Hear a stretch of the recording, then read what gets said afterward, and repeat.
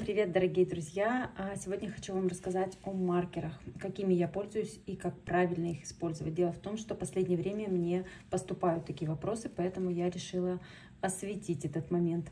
А, когда девчонки приходят э, вязать мои игрушки после плечевых изделий, они часто теряют маркеры, так как а, маркеры весятся на саму спицу, и при переходе там при вязании маркер можно потерять. А на игрушках мы весим маркер не на спицу, а на межпетлевой промежуток, да, то есть во время вязания мы отмечаем и вот таким вот образом э, весим маркер.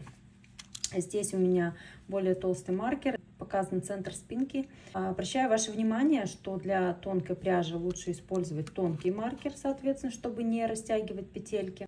Для пряжи потолще, такой как Газаль Альпака Air, подойдут и вот такие пластиковые булавочки, маркеры, э, которые по толщине подходят и не растянут наше полотно. Если вы вяжете, например, свитерок э, регланом, и тоже нужно сделать отметку маркером, то тут мы уже работаем не с межпетлевым промежутком, а весим маркером прямо на петлю, либо вот таким образом, а, либо за одну стеночку, то есть цепляем, чтобы не потерять нашу центральную петельку, от которой мы делаем накиды.